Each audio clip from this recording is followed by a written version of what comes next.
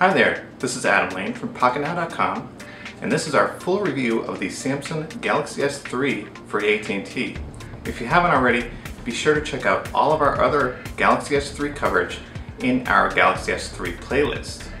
Now this time we've got the Pebble Blue version. Let's check it out.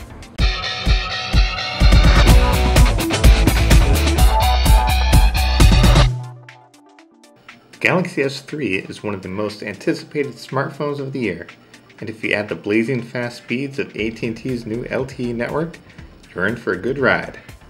Let's start with the specs. The Samsung Galaxy S3 ships with Android 4.04 and has a Qualcomm Snapdragon S4 1.5 GHz dual-core CPU with 2 gigs of RAM and 16 gigs of onboard storage, with a microSD slot for expansion.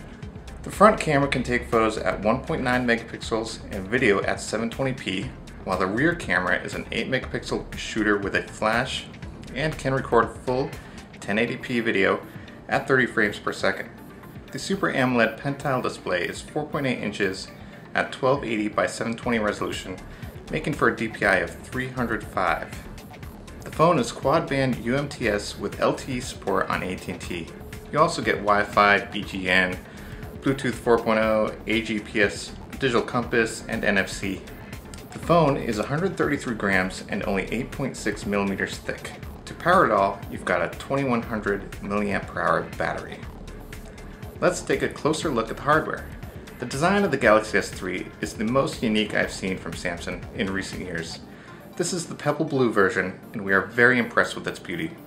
There's no more weird lip on the back as there was with the Galaxy S2, and the plastic feels much more high quality. At the top, you've got the handset speaker, along with some sensors, a 1.9 megapixel front-facing camera, and an LED light that alerts you to certain notifications which can be customized in the settings. Then you've got a massive 4.8 inch screen with a very thin bezel, and at the bottom is a hardware-based home button flanked by capacitive back and menu buttons that kind of disappear into the body when the backlights are off. On the right side is a small sliver of a power button, on the bottom, you'll see the microphone hole and a micro USB port. On the left side is a thin volume toggle button.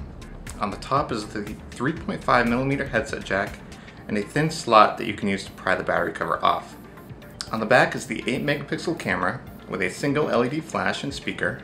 After prying off the back, you can see the 2100 mAh battery as well as the micro SD slot and SIM card slot. The battery cover plastic is very bendable. One problem with the beautifully designed hardware is that its glossy plastic is very sensitive to fingerprints and also very slippery. In the hand, the Galaxy S3 is not as ergonomic as it could be. The thinness makes it more difficult to hold since there's less surface area on the edges for your thumb and fingers to generate a stable grip. As is the case with all phones that have large screens, trying to reach the upper areas of the screen is an exercise in frustration if you only have one free hand to interact with the device. The most comfortable way to use this device is to hold it flat in the palm of your hand, letting gravity keep it there while interacting with it using your other hand. In the pocket, however, the Galaxy S3's thinness is quite advantageous since it does not cause too much bulk at all.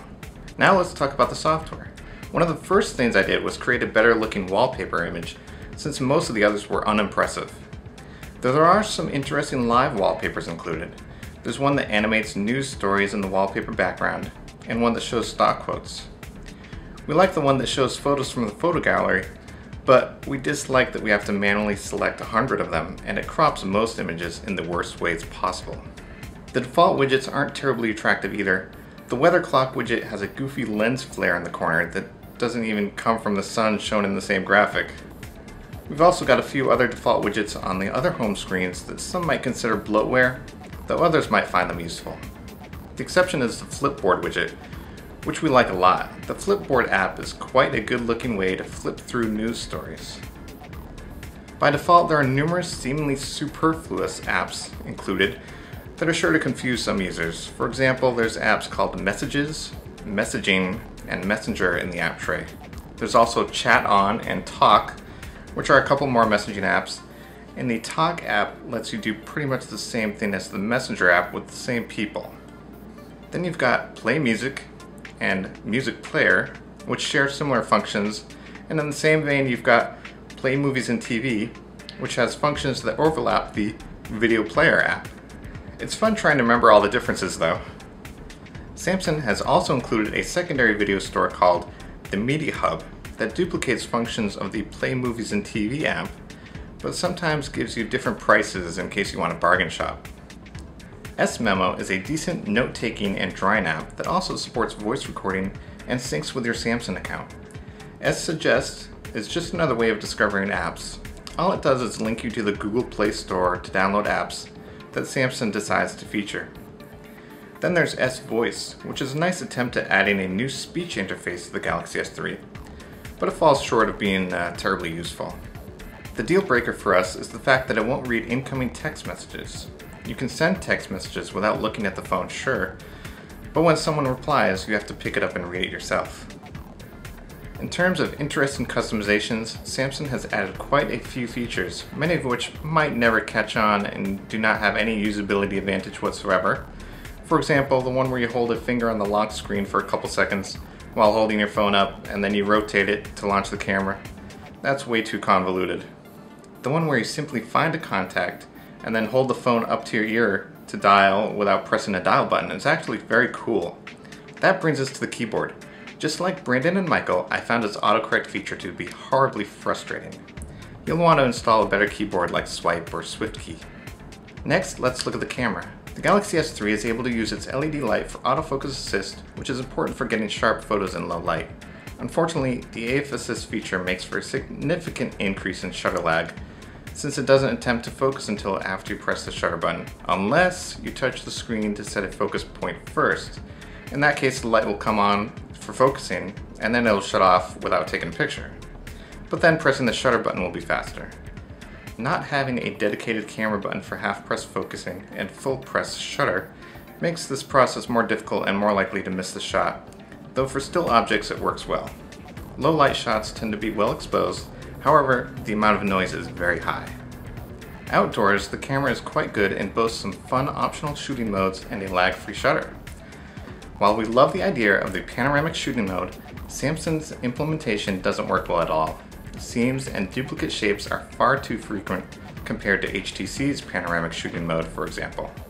Be sure to look at our full review on PocketNow.com for full resolution sample photos from the Galaxy S3. In terms of battery life, we found the Galaxy S3 to be quite good. We could easily last all day and we're getting around 20 hours worth of normal usage. LTE speeds on AT&T's network were phenomenal if coverage is available. In terms of pricing and availability, you can now buy the Galaxy S3 from AT&T for 199 with a two-year contract and qualifying rate plan. Many of our annoyances are software related and thus can be fixed by the developer community. So if you're a power user who likes to install different ROMs, try out all sorts of hacks and do some heavy customizing, you're sure to like this phone. Our final rating is 4 out of 5 stars. The Galaxy S3 is a great device for Android fans who want the latest hardware with lots of room to grow. Be sure to check out our Galaxy S3 playlist on YouTube for much more coverage and comparisons on this device. Don't forget to give this video a thumbs up, and thanks for watching.